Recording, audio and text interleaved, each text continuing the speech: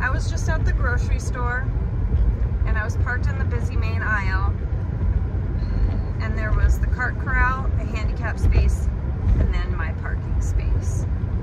So when I came back out, because there's a lot of pedestrians and car traffic, I had it in the handicap space, you know, on the side of my car, pulled up like that. So I'm loading my car and I see an old man in a van pull up to use the handicap space. Immediately notice and grab my cart and start moving it out of the way.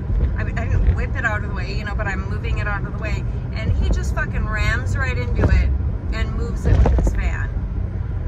So your ancient dickhole self has lived an entire fucking life and you think that that's a reasonable thing, clearly, to do to someone. Okay. If you're that big of a fucking